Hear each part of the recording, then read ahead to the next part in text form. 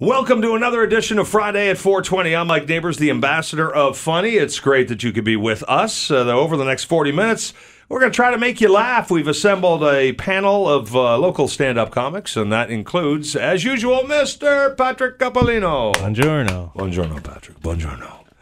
Uh, Manolis is getting up and leaving. Oh no, he's getting closer to the microphone. I'm sorry, Manolis Zontanos. Hey, how you guys doing, Ticanis? Ticanis, Ticanis, Ticanis to you too, my friend.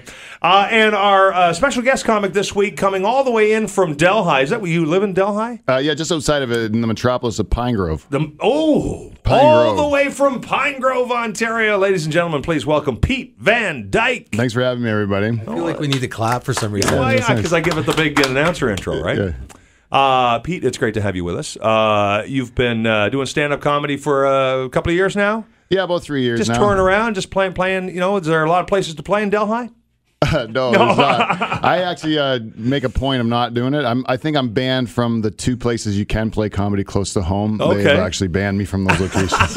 I was too dirty for one, and then the other guy just doesn't like me. Oh, he just- yeah. said, "I don't like that." Yeah, I don't know what it is, but it's it's kind of like pooping in your backyard, you know, when you do comedy by home, especially if you're working out stuff. I like to only do stuff that I know is going to work at home, Okay. so that my neighbors don't look at me like they feel sorry for me. like they do in uh, Manolis' place. Uh, so, eh, just kidding, Manolis. Uh, and you also have a podcast. You've been working at this for a while now. Tell us a little bit about the podcast. Yeah, live from the Dutch Hall. It takes place in my pool shed in my backyard, and uh, yeah, I was a banker for about 15 years, and um, I left that world because uh, it was awful. Like it was really bad, and then uh, didn't know what to do, and then I started listening to podcasts, and then just thought like, what's the, what's stopping me from Yeah. doing one? And st- I started doing one, and it was really just an excuse to do stand up. Um, where I didn't week. know there was a, any mics at Right. the time, so I was just giving myself an hour a week to try to work out material. you Yeah, know? yeah. And then it kind of evolved where a band started showing up, and now we have the greatest band in Canadian late night history, the Nocturnal Emissions. and uh, we also have uh, you know different guests that have come in every week. We've interviewed um, you know NHL hockey players and Yeah. and CFL football players and Iron Sheik and. Uh, all kinds of uh, Iron ba- different bands have been in, and, uh, and a lot of good, great comics. So. That's awesome, man. That's Still working awesome. on these two guys to get them in on the show. Well, I was going to say it's a quid pro quo. I mean, you're coming on our show. I guess we should all make a road trip out to Pete's pool shed and be Let's on do his it. show. yeah, you should. All yeah. three of us should go. Yeah, let's do it. Yeah, I love that idea. Oh, that'd be fun. Book us in. Yeah. Live from the Dutch Hall. You can find it on iTunes. There's even a video version on YouTube if you'd like to see Pete's ugly mug. Uh, here's how the uh, game is played, Pete. Uh, since you're the first timer, you're going to get to spin first. We've got 12 random topics, and they are uh, in uh, Bell Media, official Bell Media envelopes. That's how you know they're official. Uh, it says Bell Media on them. And uh, we've got a wheel, and we spin the wheel. Uh, whatever number it lands on, that's the random topic you get. So, Pete Van Dyke, All right. give that wheel a spin. Here it Oh, goes. he really, really reefed on it, eh? Wow. Not is that nine Yeah, it's hard to tell. or six? It's messy. Six. It's messy there. All right, here we go. Random topic number one for Friday at 420. Patrick Coppolino, Manolo Zontanos, and Pete Van Dyke. Pete Van Dyke, are you married? Yes, I am. Yeah, okay. Married a long time? Twenty years. Oh, yeah. you're going to have to try to remember this. 20 years? Yeah. Best or worst pickup line you've ever used? Oh, I've never picked up a woman in my entire life. Oh, that's the truth. Everyone's picked me up. So I've never had one successfully work. I don't think I've ever really tried to get. never had a line, never. No, never. They like, say the uh, best line is hello, but. Uh, I, just, I just use uh, my God-given good looks has been the only thing that has gotten me any any sort of That's, tail in my life. That's awesome. Yeah. So it, it No, I- I you were think about- approached. but now that I'm married, you know, j- that was with single women, okay? But Okay. now that I'm married, I would say, you know, I do have to uh, still pick up my wife. She just doesn't uh, give me sex. No, you know? no. You have to, uh, you still have to earn it, you know? And in some way. So, Well, that one hit me close to home, Pete. Sorry about that. yeah. So, like, it's not so much what I say, but it's like if I clean the garage or something like that, like, Oh. I'm pretty much as the best lock. pickup line is doing, Is like, a, uh, doing is there anything I chore, can do doing- for you? Yes, doing You know? something kind. Yeah, yeah. Especially if it's something you really should have done, Yeah, yeah, and yeah. she's been bugging you about it, Yeah, you and wait- then you knock it out of the park. Right now, you also it's you got to time it right though, because if you're like, like if you can see that her schedule's not lining up, or she you've, she's ju- you've just gotten laid like within a short period of time, and then uh, So don't waste cleaning up the garage. no, then. no, you you spread that out, you know, till closer to a Sunday when it's building up, and then uh, then you clean it, right? Pete has got some. That's very wise advice. I know. It's you very know, deep. It is very very deep. Manola Zontanos, best or worst pickup line, and you have tried a number of them. I, I think I said one time I was like kind I was like kind of a date, and then uh, we were shop. She was shopping for something, and she said, uh, she said she's like, "You never make me feel like I'm in. A, we're in a hurry." I said, "Well, it's hard to be in a hurry when you're exactly where you want to be." Oh my god, that's so that's so nice. I would fuck. Oh, sorry. Dang it. I'm so sorry, Mike. That's all right. You- can you market it or something? Uh, Like where- yeah, well, listen. I'm if, sorry. if I forget to get around to editing that out, uh, we apologize. Yeah. Uh, go. Uh, so, so did it work? Yeah, she melted. Oh, she- she- was like, she literally she's like, melted. like, what did you just say? I'm like, I was like, I didn't, I couldn't believe I said it too. I was like, like it was so like, It was just I, it came, it came out perfect. I'm like, I'm It sounds like you must have read that somewhere. I, I, I, don't- It's just- I can't read. Felt it in the moment. I can't read. uh, uh, Pete, I take it there's uh, swearing allowed on the podcast. Yeah, Okay. I'm sorry. That's all right, man. No, I just I'm just double checking for when we visit. You're not the first. no, no, you're not, and you won't be the last. Uh, Patrick Coppolino, you, Mr. Rico Suave over there. Come on, you got first. You lay on the buongiorno. Yeah, I just I just uh, whisper uh, different kinds of pastas with an Italian accent. you know, like that's Perfect. mozzarella, yes. lasagna. Capicola. Um, I don't know. Uh, there was one I used when I was younger, but I wouldn't dare repeat it on here. Oh, also because I'm ashamed of it. But, okay. um, I don't know. I'm. I don't know. What have All you right. heard me do? That's I don't know. That's- I don't know what you do. Usually you're just drunk and start making out with chicks. Yeah, it's usually just "Can I kiss you?" that's it, man. That's it. Yeah. All Can I kiss you? Yeah. Want to go halves on a baby? yeah. I was like, I- we were at Che and we we're at Che and he, uh, there's this girl he wanted to talk to at the bar. I'm like, we're about to go. I'm like, do you want to talk to her or not? Like, make your make. He's like, I don't know. I'm like, go or not go. Make a decision. And he goes. And the next thing you know, he's making out with her, and now now he has now he has a daughter. I, know. I was gonna say that. The yeah, the, my the mother of my child. I'm pretty sure the pickup line was just like, "Can I kiss you?" oh, what? perfect. That's what we were looking for. We're just uh, offering up advice to the audience. Yeah, I might Can try I kiss that. you? Save me trouble in the garage. Yeah, And then I, yeah, no, then I cleaned her garage. Oh, that was It it. was done. Oh, there's no place I'd rather be than right here with you three gentlemen. right now. Thank you. I moved. Manolis, give that wheel a spin, my friend. This is Friday at 420. Uh, Pete Van Dyke, our guest in the studio. Number seven. Number seven. Lucky number seven for Manolis. Let's see if it's lucky. Here we go. The psychic last week said this was going to be a big year for you, Manolis. I need a year. Any year. Uh, tell us about a dream and or nightmare. A dream? A dream? Do you dream? Do you remember your dreams? Are, are they colorful? Are they do you, you do they stick with you, or are they just kind of wake you up in a cold sweat? Uh, I have. I, I can't. I, I can't think of one in particular right now, but I always seem to have these dreams where I, I fall, Right. and then I wake up just as I land.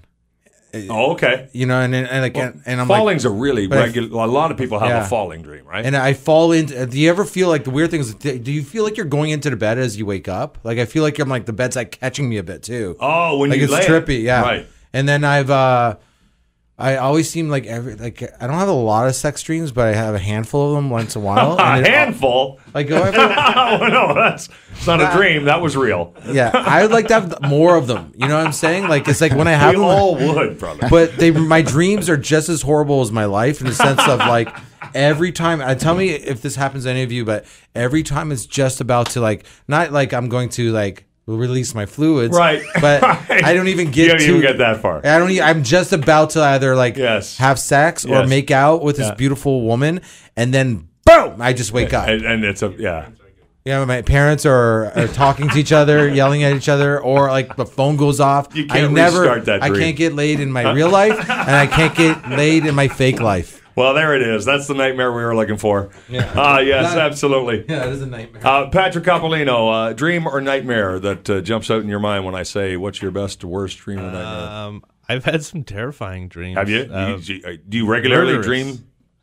Uh, I've had I've had more probably like uh nightmares that involve like being murdered or murdering than- Really, eh? than most people probably have. I don't know what that says about me. I don't But know. the one that stands out the most was like I was in this trailer park. I don't know why or, or how I got there, but um, I remember somebody somebody got murdered in a trailer and I walked in and I was the only one there and I picked up the weapon and then as I picked that up someone else walked in and saw me so they thought I did it Right. and then in my head I'm like well I have to kill you now but the what the weirdest part about it it was the the weapon was it was a bread knife and I, I'll never forget that feeling of the um uh, of the you know the serrated blade Yes. against the skin like I, I still remember that feeling Because that's a very soft dreamt it, yeah. serration, and it would have just be so hard to plunge that in. Yeah.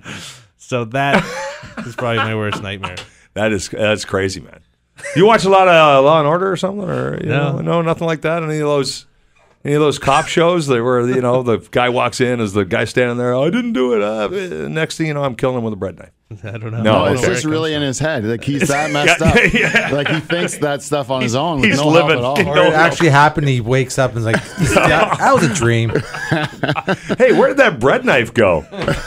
uh, Pete Van Dyke, uh, big dreamer, big nightmare guy. What are you? You know, I'm a big dreamer. I really am, and and I don't I don't have many nightmares uh, having anymore. I don't think. Uh, but uh, you know, uh, sex dreams for me. I've been married 20 years, and and you know, you think that a sex dream would be an opportunity because I'm monogamous, Right. To like uh, to not be monogamous, Yeah. You know.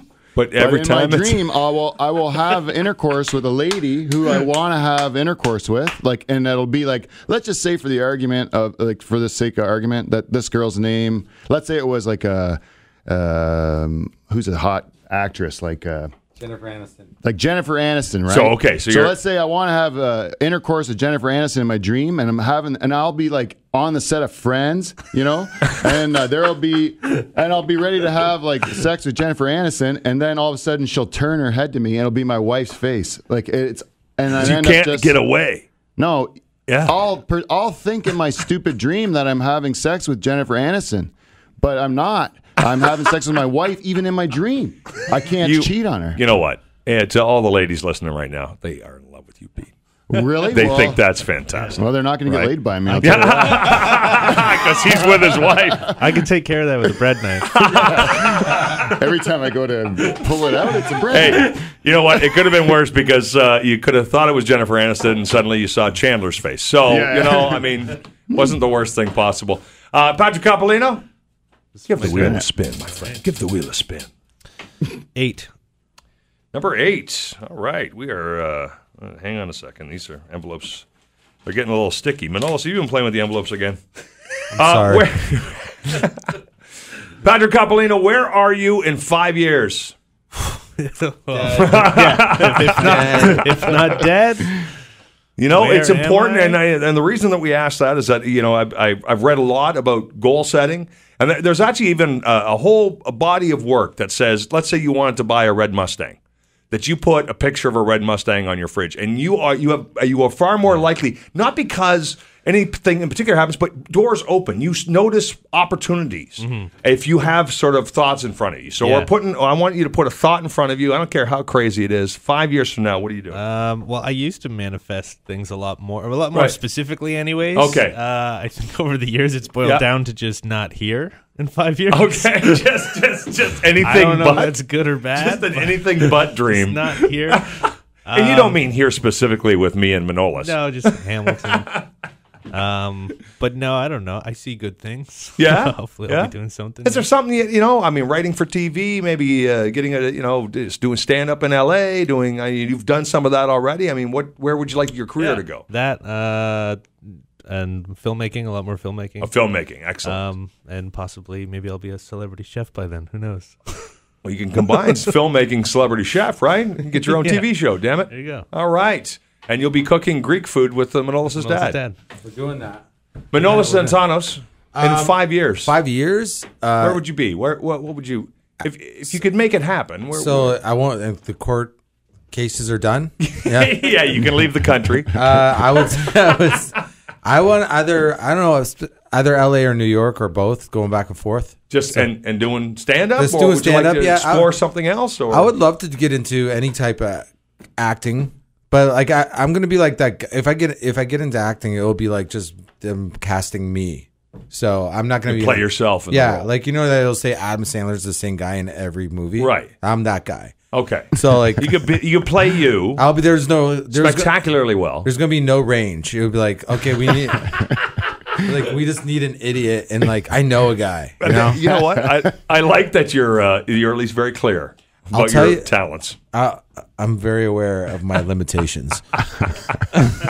That's all I I, call them think. talents, you call just- them limitations. I'm just smart enough to know that I'm not smart. Right, right. who, But- was, who was that? movie- A whole series of movies. What was the with the uh, the country bumpkin guy? What were those movies called? Ernest. Yes. So like. Uh, yes, the new Ernest. There's a, you know, you like you said, put your thing, put something Manolis out goes there. to jail. Oh yeah. You know, you put something out there in Yeah. the universe. You're saying like a, like the, Yeah. So I, I did that with like how much money I, I was like I wasn't greedy. I was put an amount amount of money on a piece of paper, so I looked at it every day. Right. And uh, I for, at first I just the only reason I I didn't give up on it, but my dad saw it, and my dad said, "Why is this? Why is this number here?" I'm like, just I'm trying to put it on the universe, Dad. Like trying to get some money. And my dad's like, "You owe somebody, but you owe someone money." I'm like, "Dad, I don't owe anybody money." It's like, "Is this a check? Is this a check?" I go, "Dad, it's a piece of white paper with fo- fo- like five numbers on it. Like, what do you?" So I ripped it up, and then I realized uh, I've got, I got, I did it. I got that. My, You you reached the milestone, I'm yeah. What the that li- the number was? I got it. And then and then It- what, it gambled it all away or something. No, I have it still. Oh, like, oh! like, it- like I, I well, that's cool. But I realized after, like, all of a sudden, my friend pointed out to me, "Didn't you have a like amount written on a piece of paper?" I'm like, "Oh my god, yeah!" And it's like I'm like uh, just about, I'm like around the corner from that amount that I wrote down. yeah. So now, So now what are you going to do? Write a bigger amount. Go to L.A. or New York, I guess. You're there now. Bye-bye. you said that. Uh, listen, before we ask Pete Van Dyke where he sees himself in five years, we should reveal that uh, Pete, you have just bought a church. Yes. So uh, tell us just a little bit about the church, because I, you know, I mean, we're kind of going down the road where we, in five years we see you as a, your own pastor and handing out Kool Aid. But beyond that, uh, what you, you tell us about the church you bought in Delhi.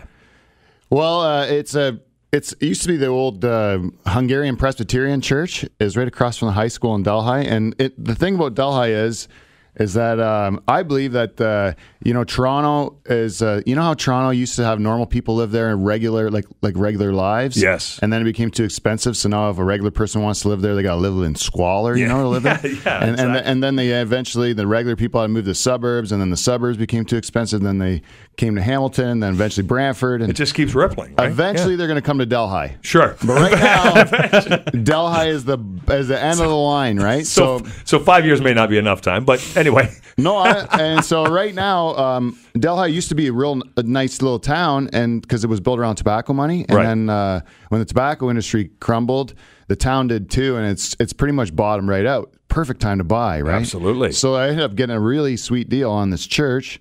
Which is turns out it's acoustically sound, and uh, one of the sound engineer from my uh, podcast live from the Dutch Hall, he Kevin Belanger, he went uh, with me to look at it, and we we looked at the building, and it turns out it, with very little uh, to do to it, it's going to make a perfect recording studio. So we're gonna we have bands all the time in through our uh, show. awesome, so eh?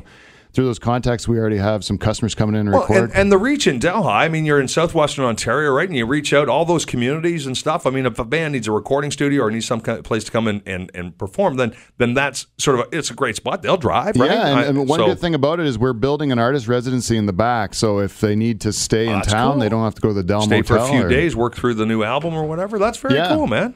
And we also in the basement we're going to be having uh, internet radio uh, and podcast studio, and uh, as well as like um, just just sets for um, for different media projects that we're doing. Are you renaming it the Dutch Hall? the basement of the church will be called the Dutch Hall, Okay. and uh, my, my gonna have to do program is probably going to be moving to a Sunday night service there at, at the church. Live. But the uh, building itself will be is going to be called Spiky Ball Studios, and uh, the because on the top of the church there's this like uh, real like on the bell tower, like Yeah. the steeple, I think it's called.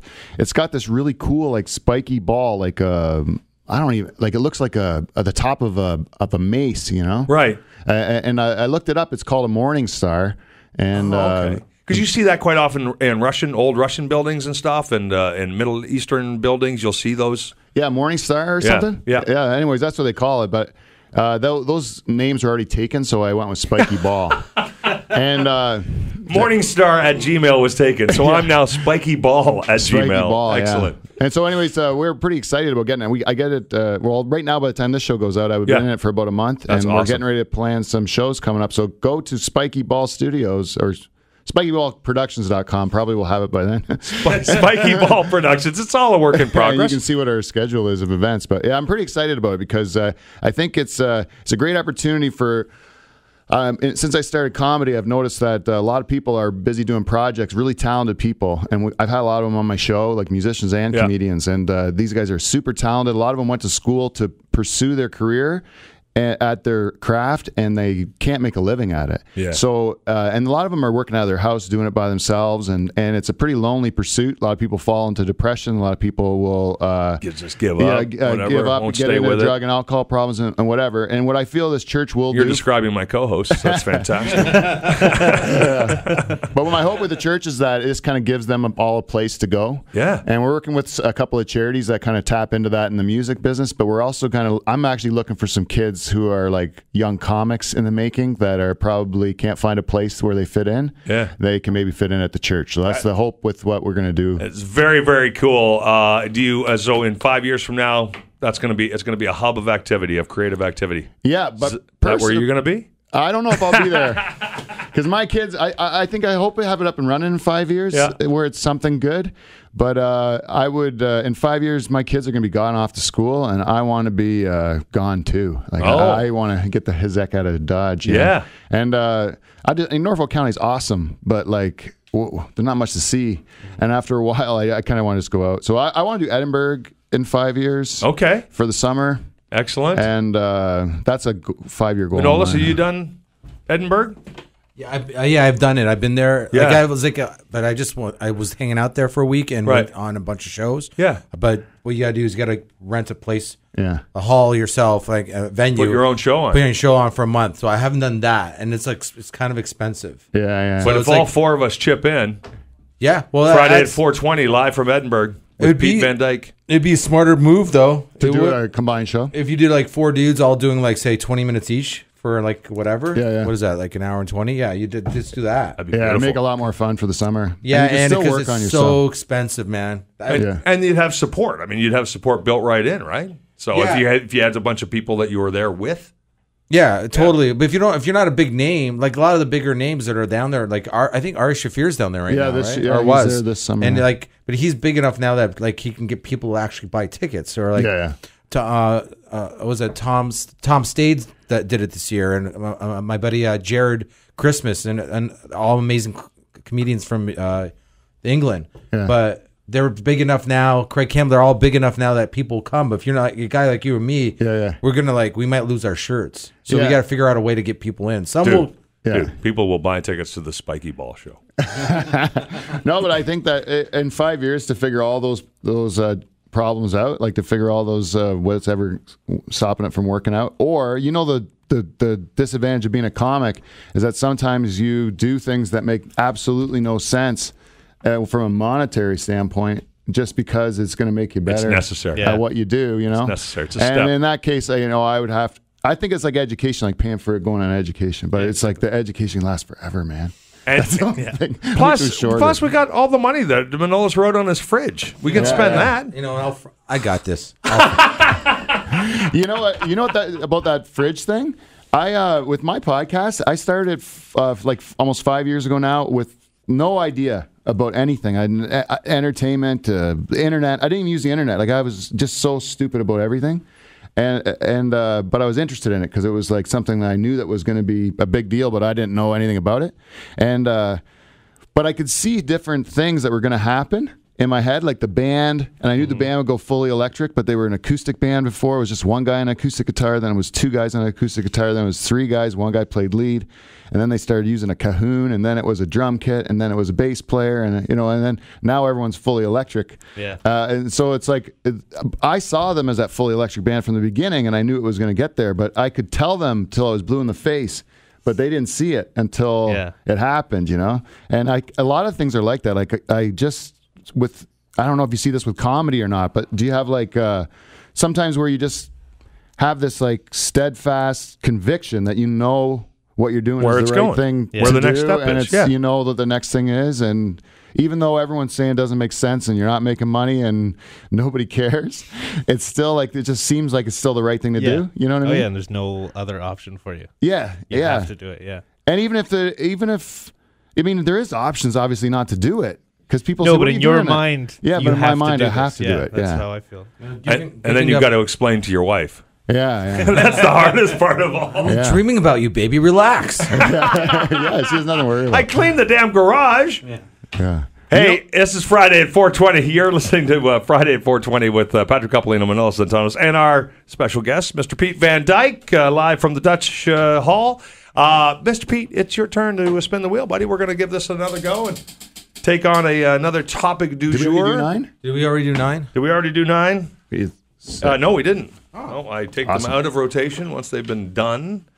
Uh, okay, we're going to share a little uh, a little oversharing here. Uh, Pete Van Dyke. When I say this, I just want you to think the first thing that pops into your mind. Don't overthink this one. Okay. Most embarrassing moment. Oh, Oh, Jesus. just uh, soul crushing embarrassing. I need. Right, I need soul crushing embarrassing. soul crushing, embarrassing. All right, my I was 12 years old. Uh, I don't know why this bothers me so much, but it does. I was 12 years old, and uh, my dad. We had horses, and uh, on our farm, and we had to go to horse shows on weekends. It Right. was something that uh, my dad and my sisters enjoyed, and I did not. I, I did not like like those horses at all.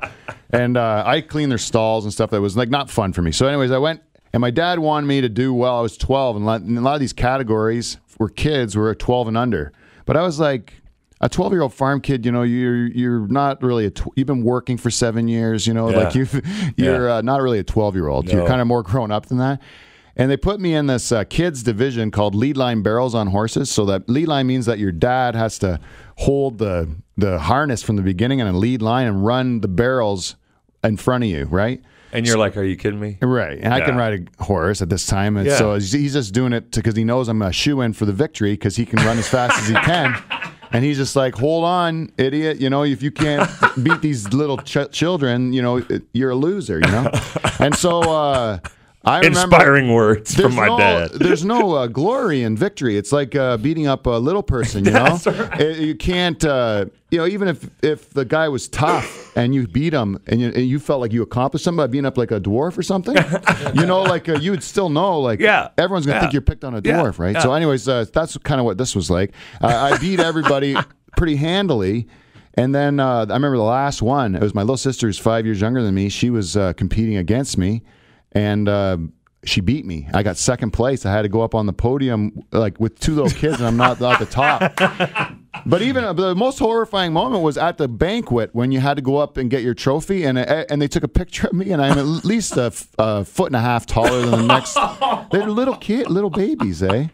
It was a, Now, humiliation. Did you could you could you say you threw it for your sister, or I mean, was there? No, I didn't have any choice in any of it. I, didn't want to be on the horse. I didn't have any didn't control over how there. fast it was going. It was my dad running. Like I just had to hang on and take whatever, Whatever cook- he cooked up in his mind, which he thought I would enjoy. I guess. Oh my like goodness! in retrospect, my dad probably thought he was doing a nice thing for me, you know. But like I don't get it. Yeah, I, I yeah. Didn't, I, I didn't yeah, get it. and all you've got left is this picture of you second place, Yeah, a- a heads and tails above everybody else. Show. Uh, that was excellent. That is soul crushing, embarrassing, and we appreciate you sharing that, Oh, Peter thank Van you. Dyke. Uh, and look at Patrick and Manolis are looking at each Do other. I, I got. I got I Manolis got- I has think- seven stories, so Yeah, we, we really should of- get to that first. Uh, do you want to? Do you want a sex one or do you? I mean, I get a Or- choice. yeah, or I, I could talk about kindergarten. Uh, Uh, oh, we, you know what? We've been down kindergarten road several times. I'm saying it's a okay. sex story. se- all right. So the first time I, this first time I had sex. Oh, really? Yeah, very first time I had sex It was in kindergarten. it was in kindergarten. oh, they combine. Guy's they name- dovetail. Guy's name was Gus.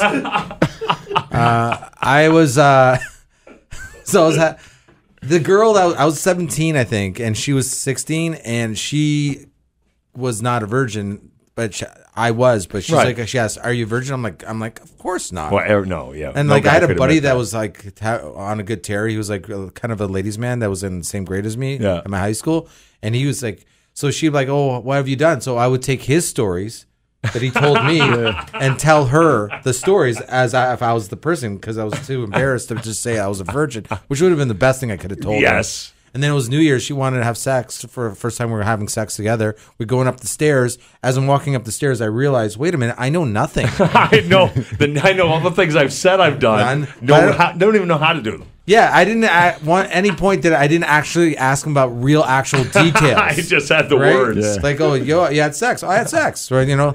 So then I I tried to have sex, and I don't, I I don't, I I released right away. like, like I don't even, I don't even think I got, I don't think I lost my I didn't virginity. even. I didn't even. I didn't like, I didn't, I didn't even get in there. Oh, soul crushing Yeah, embarrassment. it was awkward. Yeah, and it was awkward because I didn't even know what to do, so I just kind of like laid on top of her still, and didn't know like w- like because I didn't understand sex. I'm like, okay, now what? Do I just so I awkwardly like rolled off of her, and then uh, that was the last time I ever saw her. I think.